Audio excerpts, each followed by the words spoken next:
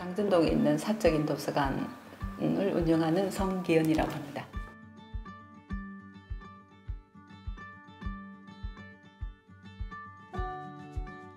어, 일반 북카페라고 생각하시면 제일 좀 쉽게 생각하실 것 같은데 기본적으로 제 생각은 혼자 시간을 많이 보내는 그런 공간이라고 생각해요. 그래서 북카페라 하더라도 여러 명 와서 책 읽으면서 서로 얘기할 수 있는 공간하고는 좀 다르게 혼자 시간을 보내는 시간이니까 거의 말을 하지 않는 그런 공간이라고 생각하시면 될 것 같아요.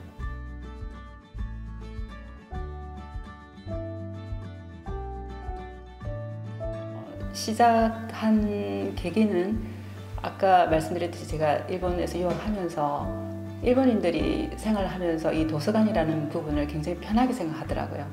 저희들은 도서관이라 하면은 주로 입시생들이라든가 학생들이 대상인데 제가 본 일본인들의 생활은 일본 그 일반 시민들도 아주 쉽게 들어가서 쉴 수 있는 공간 그리고 자기 혼자만의 시간을 보내는 공간이기 때문에 그게 되게 인상적이었어요.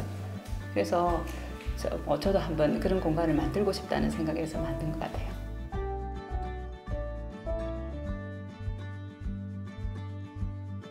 이 공간을 충분히 좀 시민들이 좀 이 동민들이 좀 많이 좀 음, 누렸으면 좋겠다는 생각이 드는데 어, 쉽게 좀 들락날락 할 수 있는 그런 공간이었으면 좋겠고 좀 이 동민들이 좀 가장 편안하게 나 혼자만의 시간을 보내는 그런 공간으로 좀 음, 유지되었으면 좋겠습니다.